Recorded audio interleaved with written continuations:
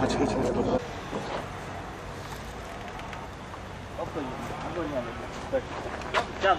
No, na forma.